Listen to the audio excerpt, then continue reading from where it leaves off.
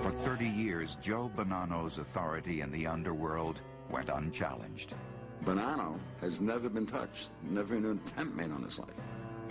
He witnessed the rise and fall of the mob and lived to tell the tale. Everybody was afraid of Joe Bonanno when he chose to be scary. You often hear about the person who enters a room and all eyes are drawn to that person. He was that kind of man. The mob boss tried to preserve his traditions by inducting his oldest son into the secret society he had created. I am not ashamed of who I am or what I am. I've accepted the life that was handed to me and I've tried to do the best that I can. But the godfather and his son would find themselves betrayed by their own crime family.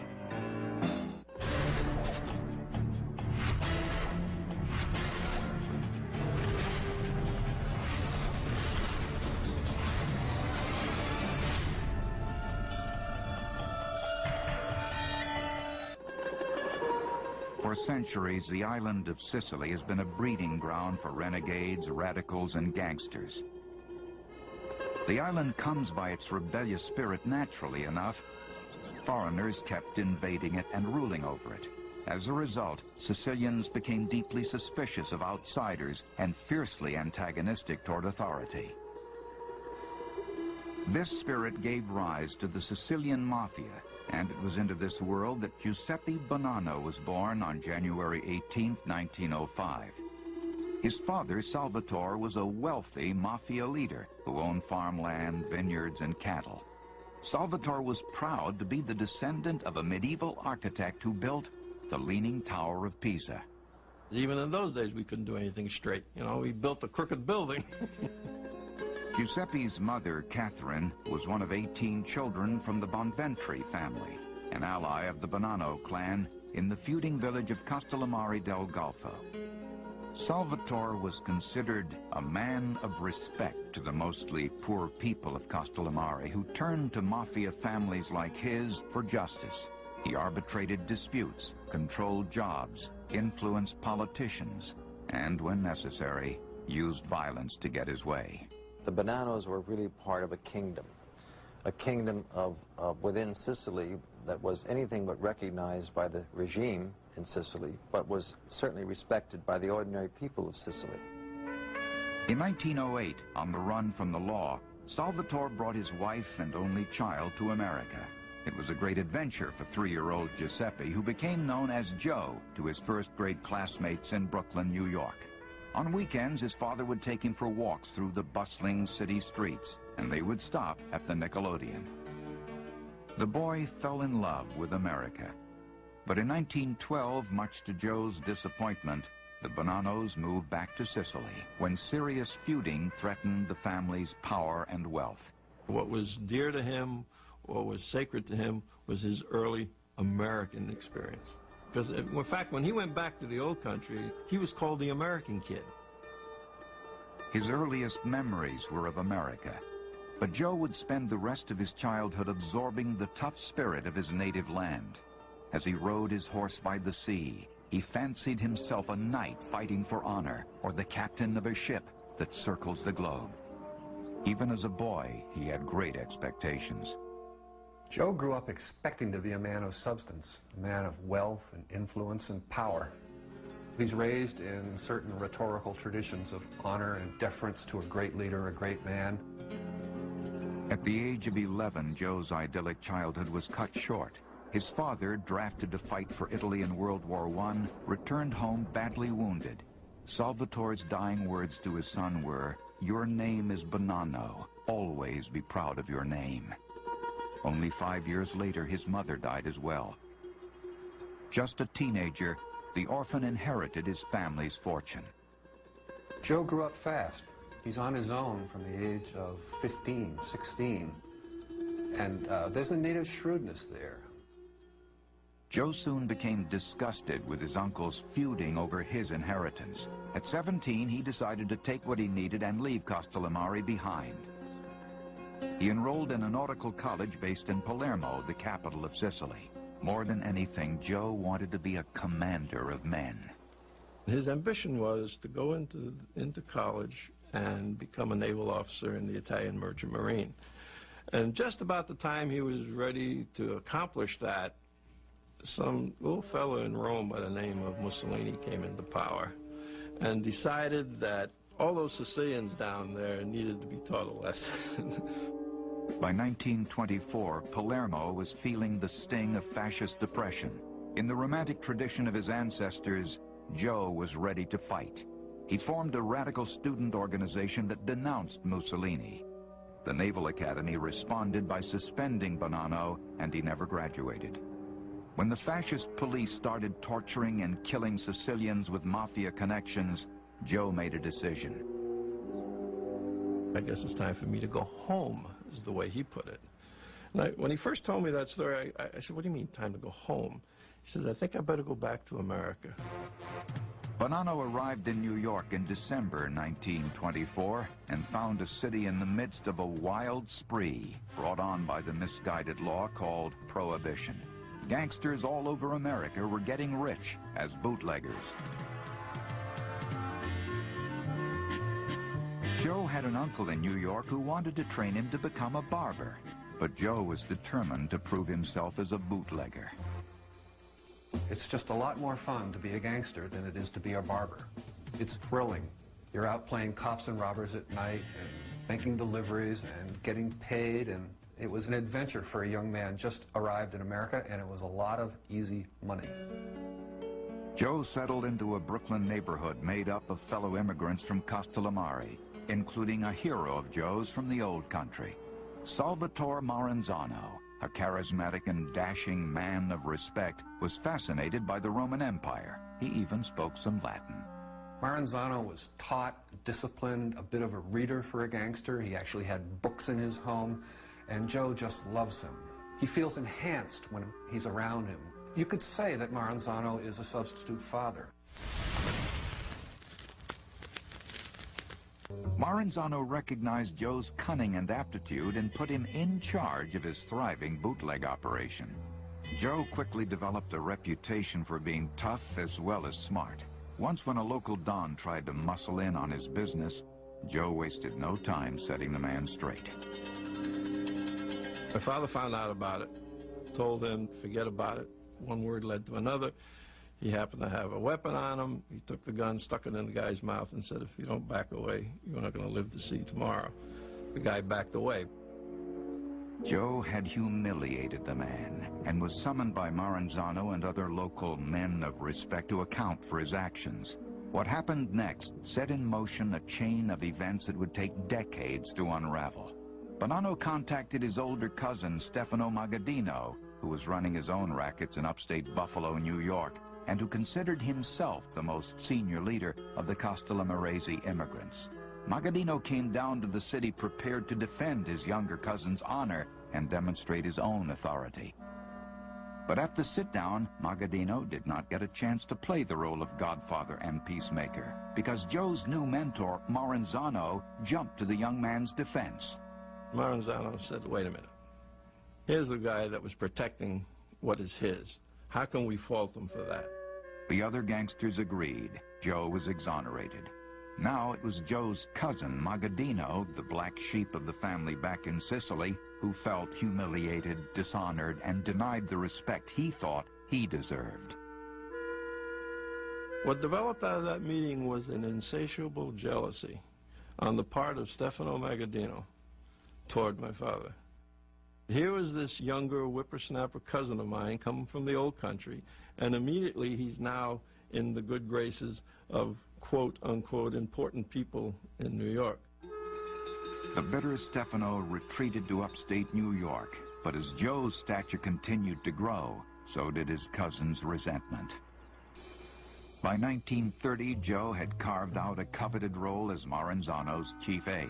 Though not yet a man of respect, he was a man to be reckoned with. Joe had presence. He had charisma. He had that undefinable quality that makes people defer to a leader. We would sit in his study and discuss Mediterranean history, discuss modern history, discuss politics, discuss opera. He was truly a Renaissance man. At 25 years old, Joe's charm and smarts had taken him far. But he had yet to be tested in battle. Bonanno would get his chance as the New York underworld erupted in street warfare. Wielding a machine gun to fight for his clan, Joe would become a full-fledged gangster, and in the process, win a place for himself at the founding of the modern American Mafia. By the time he was 25 years old, Joe Bonanno was a successful bootlegger and a rising leader in the New York underworld. His mentor, Salvatore Maranzano, even made Joe his chief aide. Now he wanted Bonanno to marry his own daughter. But Joe was already in love with Fay Labruzzo, a quiet seamstress with a dry sense of humor. The courtship was interrupted in 1930 when an old Sicilian feud reignited in the streets of Brooklyn and Manhattan. It got so dangerous that Joe kissed his girlfriend goodbye. He bought himself a bulletproof Cadillac equipped with built-in submachine guns and went into hiding. Bonanno and his cronies were fighting against the most powerful Italian gangster in all of New York, Joe the Boss Masseria. The tightly knit Castellammarese were becoming too independent for the power-hungry Masseria.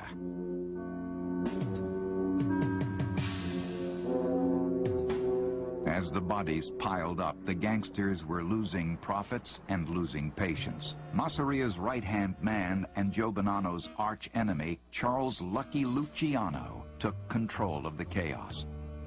Charlie Lucky was an Americanized product, born in Sicily, but came over here at a very early age. So he and his friends decided that the shooting that was going on wasn't good for business. So Luciano orchestrated the assassination of his own boss, Masseria, in order to make peace with Joe's boss, Maranzano. After the killing, Joe and the other major New York gangsters all attended a crucial meeting hosted by Al Capone at the Congress Hotel in Chicago. The conclusion of that meeting was the establishment of un comitato de pace, which was a committee for peace. However, because there were some Americanized guys that couldn't say the words correctly, they decided to say, well, let's call it the commission. Joe's boss, Maranzano, pushed through his plan for a syndicate of mafia families that would function like the Roman military led by Caesar. The other leaders quickly realized they had replaced one despot for another. Four months later, Lucky had Maranzano killed as well. With his boss dead, Joe decided the best course was not to avenge the murder, but to make peace with Lucky Luciano.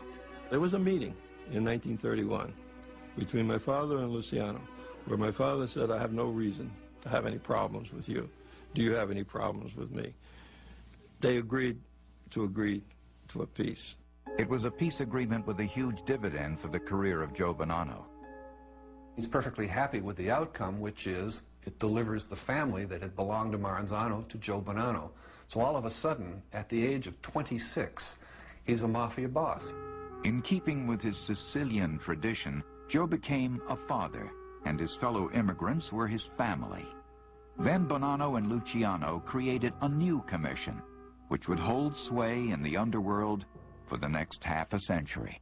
The commission works beautifully for decades because there is no big boss. It's seven top mafia guys, and they meet every five years, and they just operate by consensus. With the war behind him, Joe Bonanno married the patient Fay Labruzzo in 1931, almost two years after their original wedding date. At the ceremony, several of the bridegrooms carried pistols under their tuxedos in case of surprise visitors. A year later, Joe and Fay had a son. They named him Salvatore, after the baby's grandfather. By the mid-1930s, the two leaders of the commission had gone their separate ways. Lucky Luciano became a household name, while Joe Bonanno remained unknown to the public. I think he saw that Luciano got in trouble because he loved to be in the spotlight. He would be seen at nightclubs and photographed and in the society columns in newspapers. Bonanno stays out of the paper. I mean, for decades, he never appears in the newspapers. Joe Bonanno concentrated on the traditional staples of the mafia, bookmaking, gambling, and loan sharking. The dark underside of these activities, extortion and violence, was inevitable. But Joe reasoned that if he instilled enough fear in his followers, then he wouldn't have to resort to violence. Fear is what a mafia family runs on. No one could be the head of one of the five New York families without being responsible for many murders. And I'm sure Joe ordered any number of killings. Everybody was afraid of Joe Bonanno when he chose to be scary. Like other shrewd godfathers, Joe was also involved in legitimate businesses such as a cheese factory and a ladies' coat manufacturer. In an interview years later, he would deny that he ever gained control of any business through extortion. Some people come to see you because you are a big man.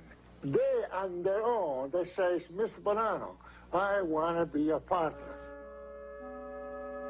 Joe never directly explained his line of work to his young son Salvatore, known as Bill, and his daughter Catherine. They slowly realized that their father was someone special by observing the people around him. One day, Bill painted the cars of his father's associates with orange house paint. The men never even said a word about the prank to their godfather. And that told me something. It told me that uh, I could get away with certain things, not because of who I was, but because of who my father was. In the spring of 1941, with Joe's personal driver at the wheel, Bonanno and his family headed west in a Cadillac. Eight-year-old Bill had developed a serious inner ear infection, and the doctor recommended a drier climate. Joe settled on a boarding school for Bill in Tucson, Arizona, and this became the family's part-time home. In high school, Bill lived alone in Tucson for several months of the year. While his father was spending much of his time running the crime family in New York, Bill tried his own hand at crime, stealing hubcaps and running guns into Mexico. When Joe got wind of his son's activities, he decided it was time to bring him into a world where he would be held accountable for his actions. One night in Brooklyn, 22-year-old Bill was mysteriously called to a house where men he had known his whole life were waiting. The men began telling him the history of the Mafia, a secret society to which they wanted him to pledge his life. Tossing a piece of burning paper in his hands, Bill proclaimed his allegiance, saying, This is how I burn if I expose this world of ours. It was a profound experience for the young man. He realized he was entering a new stage of life where his commitment to his mafia brethren and his father would always come first. Soon after Bill became a man in his father's world, he fell in love with Rosalie Profaci, a young woman he had known since childhood. Rosalie was the niece of Joseph Profaci, a friend of Joe Bonanno since the 1920s and a fellow founding member of the Commission. The Godfather gave his eager blessing to the union, and in 1956 Bill and Rosalie were married. Two of the most powerful mafia families in America would be united. Never, never did my father ever tell me I had to marry anyone. However, he made it a point to make me understand who I was, what was expected of me in the future, and that it would be advisable and better if we married our own kind. At a point in time when the Mafia enjoyed unprecedented power, the wedding marked the pinnacle of prestige for Joe Bonanno. He spared no expense on the sumptuous celebration, which years later would be the inspiration for the famous wedding scene in the first Godfather movie. It was like the royal heads of Europe uh, joining together by marrying off two of their offspring. It's a huge affair, the Hotel Astor, 3,000 guests, and there are cash gifts amounting to about $100,000 in 1956 dollars, which would be about a half a million dollars today, more or less. Among the entertainers there was Tony Bennett, just hired, you know, like you would hire some neighborhood singer. Well, they just hired Tony Bennett to sing. The guest list read like a who's who of the American Mafia. Tommy Lucchese, Vito Genovese, Albert Anastasia, Tony Accardo, and Stefano Magaddino were all there. All these people that came to my wedding came because of the respect and admiration they had for my father, not because of the bride and groom. Joe Bonanno surveyed his kingdom. He had recently brokered a peace between two rivals in the New York mob, Vito Genovese and Albert Anastasia. He called it the Pax Bonanno. Joe was the most respected man in the Mafia, perhaps too respected for his own good. His brooding cousin, Stefano Magaddino, was said to have remarked, Look at all these people. It's going to Joe's head.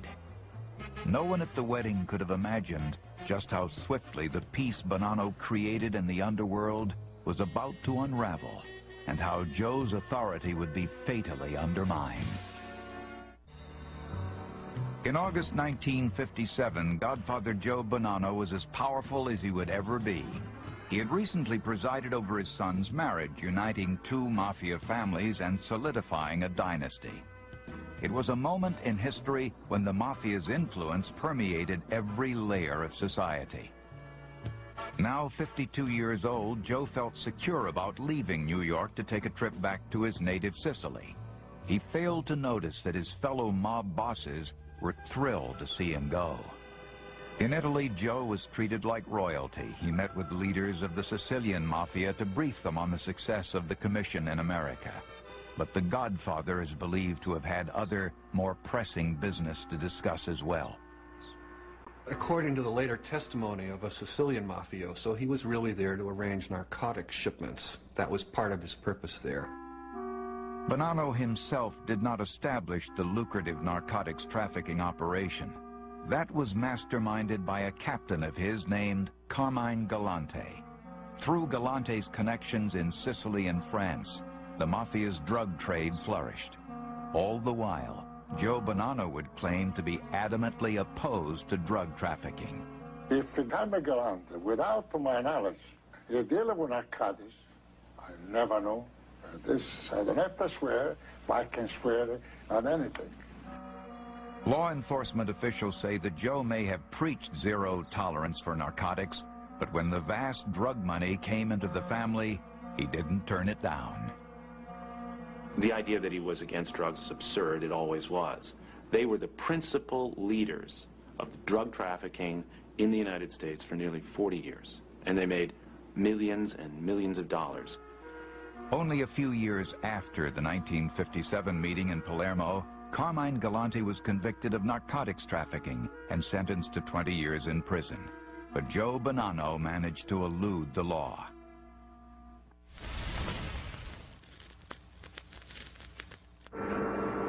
When Joe returned to New York in November 1957, he was shocked to find that in his absence, his Pax Bonanno had been shattered. The assassination of Albert Anastasia had thrown the commission into chaos. In response, Joe's cousin, Stefano Magaddino, had called for an emergency national mob meeting in the tiny upstate New York town of Apalachin. The purpose? To install underboss Carlo Gambino as the new head of Anastasia's family. Joe Bonanno's authority was being put to the test by his fellow mobsters. They waited till he'd gone to Sicily before they put the contract on Anastasia. So it may be that what the whole thing means in terms of Bonanno's leadership within the commission is that they're trying to do an end run around him while he's out of the country. There is no real honor and loyalty. It comes down to personal ambitions, and personal ambitions will overcome anything. Joe was furious, not only because the violence was a clear challenge to his underworld leadership, but because the meeting would occur in the exact same place where the commission had met the year before, inviting unwanted attention from the law. Just as Joe had feared on November 14, 1957, the group of national mafia leaders was ambushed by local police. 58 men were detained, while many others fled on foot into the woods. Imagine maybe a hundred mafiosi caught in this little town out in the country with no plausible explanation of what they're doing there. It was terribly embarrassing and really the first great breakthrough in public awareness of the mafia. Joe was not even at the meeting, yet he was sought out and arrested along with the rest. His compatriots had unwittingly dealt him his first serious blow by thrusting him out of the cloak of secrecy and into the glare of publicity. The Godfather handled the exposure with style. Joe always looks composed. He's smiling, and it's as though he's saying, This is all ridiculous. I'm an honest businessman. I have no idea how I was caught up in this and accused of being a criminal. While the Godfather handled the press attention well, he did not appreciate the nickname that the New York papers gave him. It offended his deep pride in his family name. In the aftermath of Apalachin, the Bonannos' private lives became much more tense. There was a constant feeling of being watched, of cops lurking around every corner. I remember my father-in-law calling me, and I said, oh, hello, Dad, you know, and he, he yelled at me. It was the first time he had ever scolded me. You know, you know, you should never use a person's name when they call up. At the time, the FBI had begun secretly tapping mobsters' telephones, so the mafiosi were baffled as to how the Fed seemed to know about their most private conversations. I figured either I have a bug on me someplace, or someone very close to me has betrayed us. And it takes a lot of self-control not to let that seed of doubt grow and mushroom into you doing something that you might regret and hurt an innocent person. In 1963, Bonanno was further exposed when a low-level soldier named Joseph Valachi became the first member of the Mafia to break the mob's oath of silence. On national television, he was asked who performed the initiation rite when he was inducted into the Mafia. Joe Bonanno. Joe Bonanno? Yeah, happened to be now, my where guy. is he? Is he uh, at the head of one of the families now? Yeah, it still is. He still is? Yes. Still alive? Right. In the wake of the fresh publicity, 58-year-old Joe Bonanno fled New York for his home in Arizona. Joe, Fay, and their youngest child, Joe Jr., had long ago moved their permanent residence west. Now Joe began to think about retiring in Tucson. The Godfather asked his son Bill to look after things in his absence from New York. Our number three man was gravely ill, and I had been told, see what you can do to make life easy for him. And as a result of that, I started becoming his eyes and ears. Joe told his captains to elect a new number three man, or consigliere. Hoping to stay close to their cherished leader, the captains elected his son Bill, and Joe proudly approved it. Bill later expressed his devotion in a poem he wrote to his father. It read, I stand stately in your shadow. It is an honor I covet. I accept the sins heaped upon me. I am a Bonanno. Bill's resilience was tested right away. His promotion upset mafiosi inside and outside the family, who considered Bill a child of privilege with no experience of the city streets. Bill Bonanno had a bit of swagger and a bit of uh, maybe uh, evoking some of the spirit of fraternity life and football weekends in Arizona that did not quite conform to um, what an older mafia man's idea of an aspiring mafia leader should be.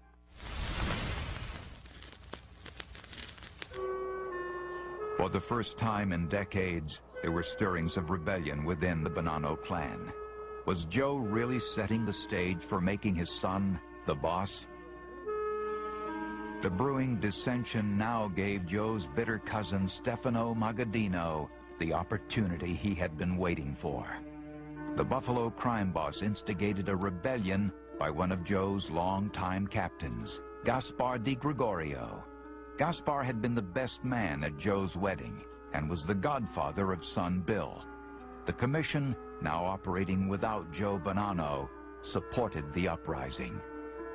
The tension mounted when a rumor spread in New York that Joe Bonanno was planning to eliminate his adversaries by assassinating three of his fellow godfathers. The commission demanded that Joe come forward and explain himself.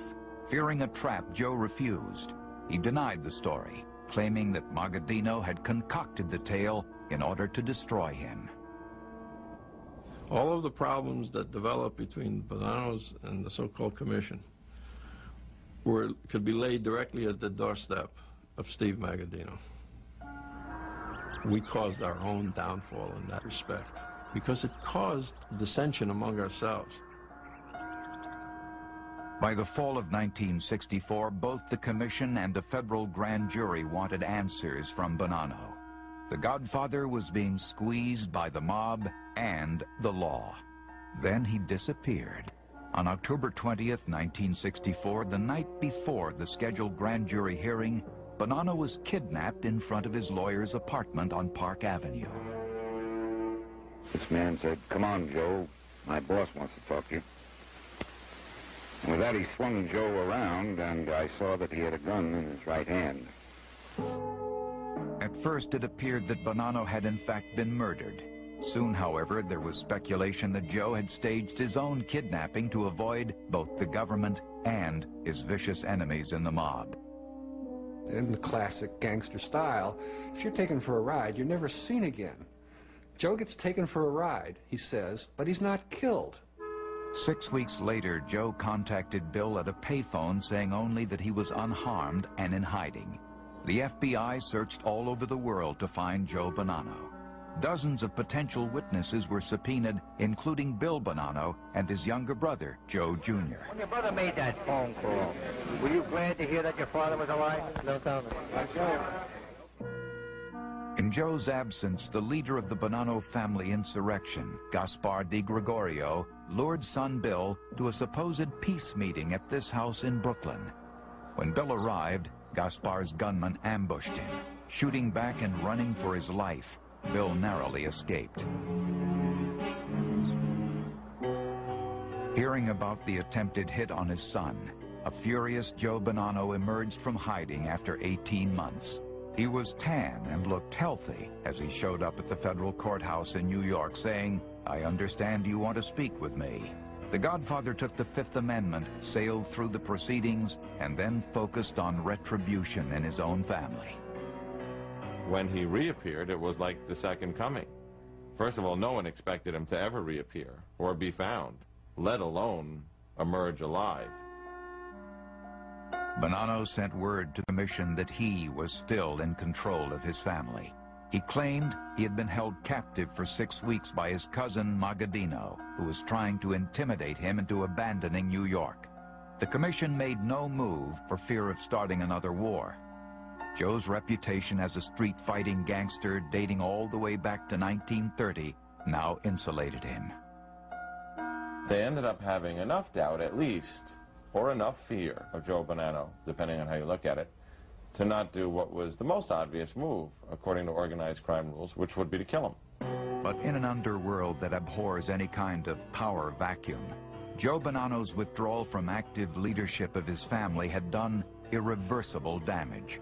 For the next two years, he would fight his own men and the ambitions of the other bosses who would try and take over his family limb by limb. Godfather Joe Bonanno emerged from hiding in 1966, ready to fight and kill to save his troubled crime family. An insurrection had split the family, and now the Mafia Commission was poised to take control of the Bonannos. Though he wanted to retire, Joe would not be dictated to by the Commission or anyone else. The street war, dubbed the Banana Split in the press, lasted for two years, a murder on one side calling for a retaliation from the other. Joe moved into the Long Island ranch house of his dutiful son Bill and daughter-in-law Rosalie. The house became Bonanno's war room and headquarters for the mob soldiers, who were still loyal to the Godfather and wanted to defend their turf. But in the spring of 1968, one of Bill Bonanno's closest associates was murdered, and it was rumored that he was next. Fearing for the safety of their families, the Godfather and his son made a fateful decision. They would retreat to the west, where far from the street war, Joe's patient wife Fay was waiting. It gradually came to, to him, his consciousness, that it ain't worth it anymore. Shortly after returning to Arizona, the 73-year-old Bonanno suffered a heart attack. Joe's cousin, Stefano Magaddino, also suffered a heart attack, and faded from power. Joe had no choice but to concede defeat to the rising mafia powerhouse, Carlo Gambino, who was now the dominant force on the commission. Joe agreed to be exiled from New York. In exchange, there would be no repercussions against any Bonanno family soldiers.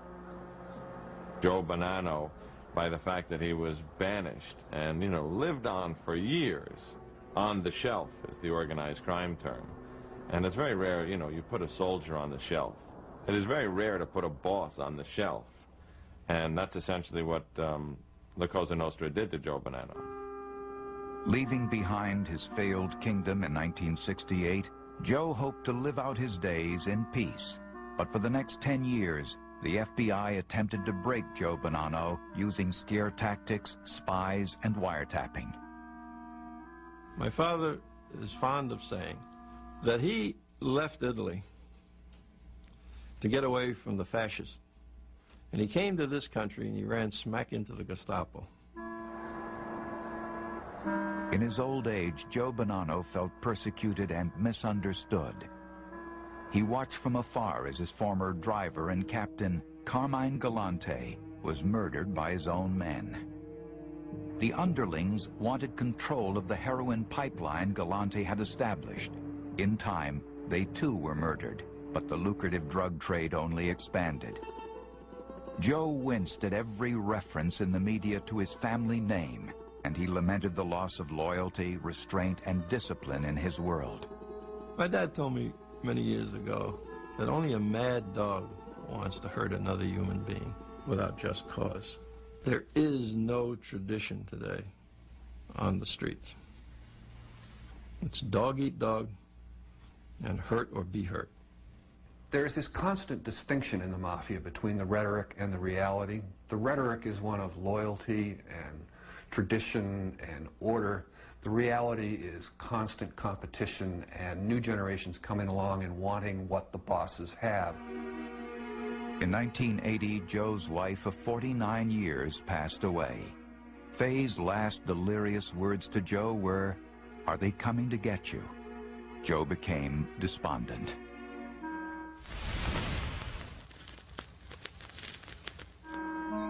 At 78 years old, the aging godfather wanted the world to know that he considered the current crop of mafiosi to be practicing a mutant form of his sacred tradition. In 1983, Bonanno announced he was doing something previously unheard of for a godfather. He was publishing his memoirs.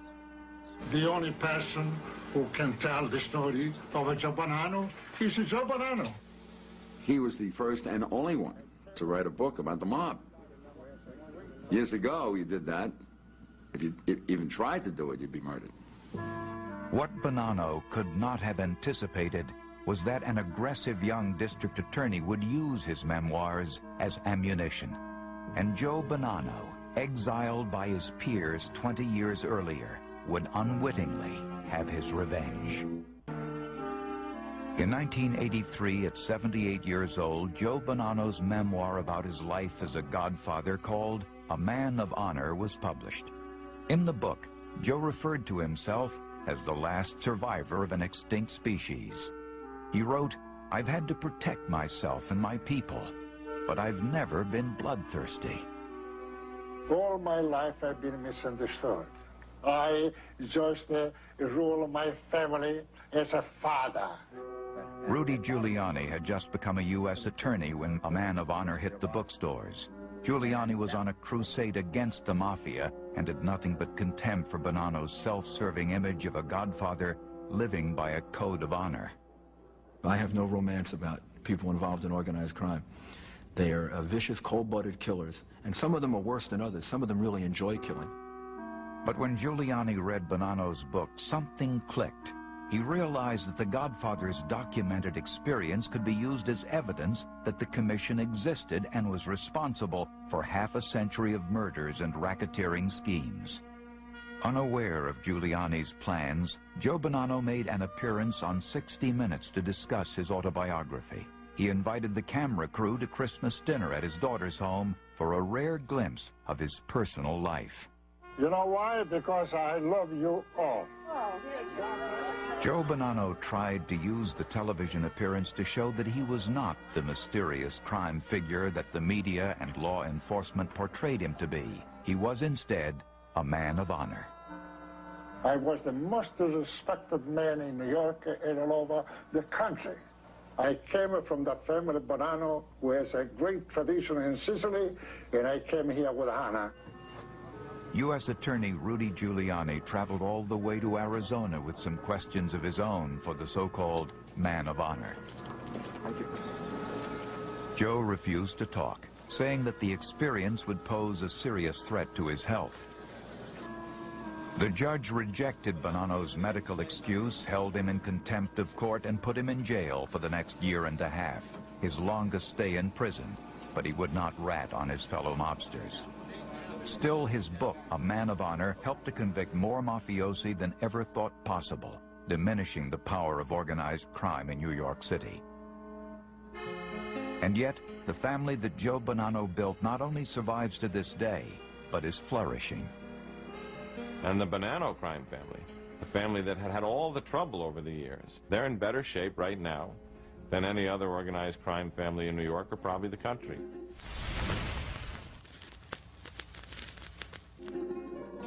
Joe Bonanno, now 93 years old and a great-grandfather, is the only surviving godfather from the original commission created in 1931. His life encompasses nearly a century of mafia history. Bonanno has never been touched, never an attempt made on his life, because he's an original. He's a charter member of the Mafia Commission in this country. Nobody's going to take him out. As Joe's oldest son, Bill Bonanno has lived in the long shadow cast by his father. Yet where there might have been resentment, there is great love and acceptance of his fate. I am not ashamed of who I am or what I am. I've accepted the life that was handed to me and I've tried to do the best that I can. After spending a decade in and out of jail on conspiracy charges and tax evasion, Bill eventually became a television producer, focusing on stories about his family. My dad's philosophy was, you have a right to lead your life the way you want to lead it, as long as you are responsible for the decisions that you make and assume the consequences of those decisions. Joe was, I think, a very successful leader. He did do a good job in keeping the families operating in the 30s, 40s, and 50s. Where is the real honor in an organization where you take a sworn oath of secrecy and your official job is to go out to double cross, to double deal, to steal, to murder, to intimidate, to frighten? In his memoirs, Joe wrote that he leaves it to God to decide the true definition of honor.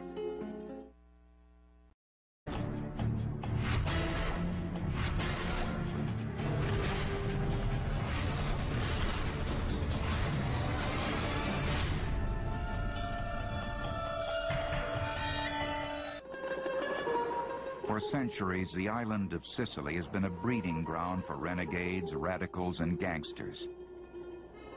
The island comes by its rebellious spirit naturally enough.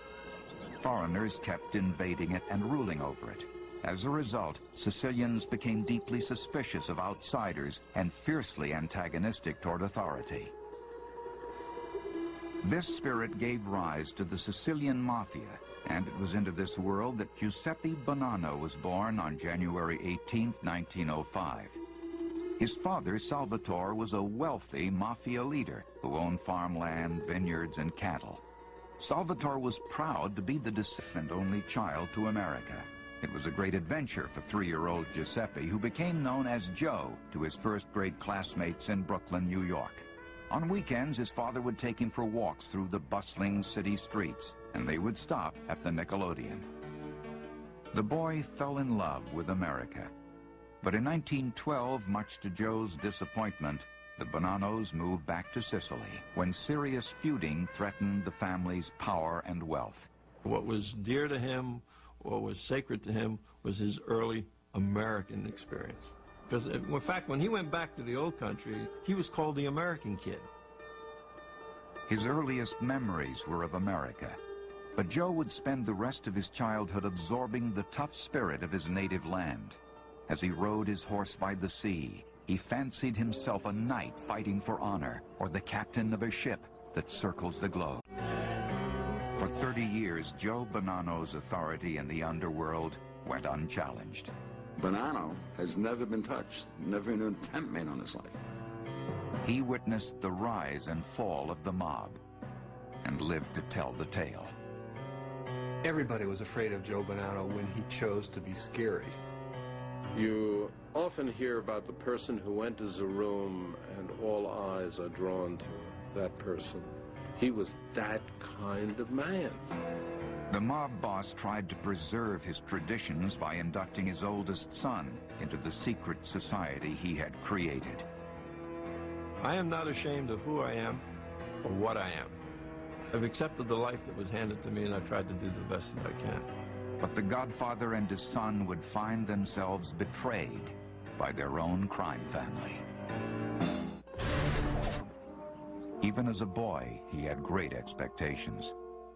Joe grew up expecting to be a man of substance, a man of wealth and influence and power. He's raised in certain rhetorical traditions of honor and deference to a great leader, a great man. At the age of 11, Joe's idyllic childhood was cut short. His father, drafted to fight for Italy in World War I, returned home badly wounded. Salvatore's dying words to his son were, Your name is Bonanno. Always be proud of your name. Only five years later, his mother died as well. Just a teenager, the orphan inherited his family's fortune. Joe grew up fast. He's on his own from the age of 15, 16. And uh, there's a native shrewdness there. Joe soon became disgusted with his uncles feuding over his inheritance, descendant of a medieval architect who built the Leaning Tower of Pisa. Even in those days, we couldn't do anything straight. You know, we built a crooked building. Giuseppe's mother, Catherine, was one of 18 children from the Bonventre family, an ally of the Bonanno clan in the feuding village of Castellammare del Golfo. Salvatore was considered a man of respect to the mostly poor people of Castellammare who turned to mafia families like his for justice. He arbitrated disputes, controlled jobs, influenced politicians, and, when necessary, used violence to get his way.